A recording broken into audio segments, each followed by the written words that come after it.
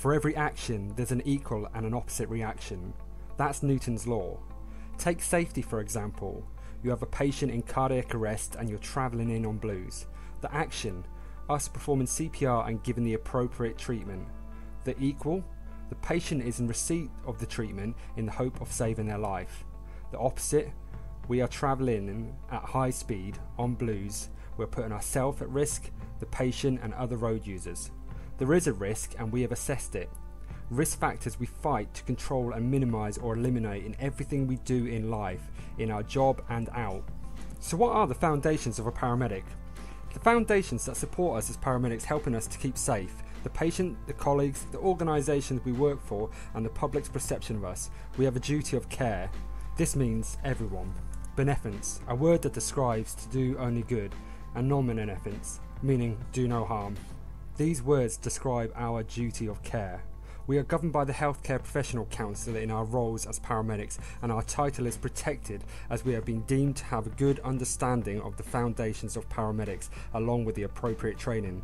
We are also audited by the government with such organisations as the Care Quality Commission, so it is paramount that we continue to keep the standards high by putting into practice the legal and ethical obligations we have. So, what are some of our legal and ethical responsibilities? Confidentiality any information that we receive should only ever be passed on to the appropriate parties, and a breach of this is in direct conflict of the Data Protection Act 1998 and goes against the rights of our patients. Likewise, the Human Rights Act of 1998 should be followed when applying treatment, such as keeping the patient's dignity and obtaining informed consent. Informed consent is applied when a person can be said to have given a consent based on a clear appreciation and understanding of the factors. English law necessitates that before any medical professional can examine or treat a patient, they must obtain informed consent to do so. There are a number of aspects that allows us to presume consent, such as if the patient was unconscious. We also have to determine the patient's mental health, which could be affected due to their current medical condition or ongoing medical problems. Whatever the reasons for us being there, we must consider all factors and document them. A good acronym that I use is the 7 Ps proper prior planning prevents piss poor performance. So, what do I mean by this? Well, by making sure we are ready and prepared, we can reduce the risk and deliver a professional service. We make sure that we're ready for our shift mentally and physically. We also carry out checks on our vehicles and equipment, making sure they are full working order, clean, sterilised, in date, and there is no damage to the packaging. We also check to make sure we have all the equipment on our vehicle that has been supplied to us in order to do our jobs to the best of our abilities.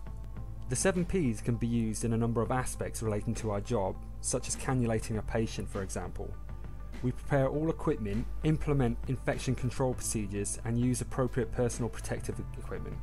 We also dispose of equipment after use to prevent cross contamination. I've covered a lot about safety, but I'd like to focus a little on things that may affect us or the patient in the long term. We always approach a scene with caution and focus on danger. To use this as an example, one risk that may be presented is needles.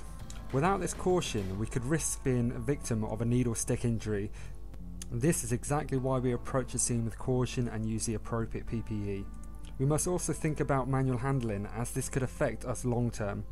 Everyone has a duty to apply health and safety in the workplace, and as our workplace can be anywhere, we must constantly try to implement these guidelines. Manual handling is one of the aspects of health and safety, and the consequences of not following manual handling techniques could result in injury to the patient or ourselves. This could also result in a criminal or civil lawsuit. It would also be in breach of your own organisation's regulations. Another reason that could be considered as a long term safety risk is that of reporting any safeguarding issues. Whether this is a vulnerable adult, mental health issue, falls team, or social services, we have a duty of care that goes beyond the present moment. The government have many policies in place to protect the individuals we see. To name just two of them, protecting vulnerable adults and safeguarding children, so it's in our interest to stay up to date with the current policies and implement them where necessary. As well as needing to keep up to date with current policies, we must also keep up to date with our training. Continued professional development, or CPD, is a key part to any medical professional's career and allows us to deliver better care to our patients. There are many places you can enrol on a CPD course. such as the College of Paramedics, and by reading the current JRCALC.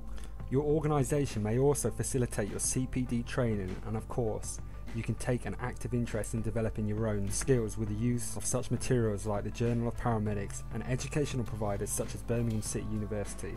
So I refer back to my opening line for every action, there is an equal and an opposite reaction. Make sure your actions are justified based on the foundations of paramedic.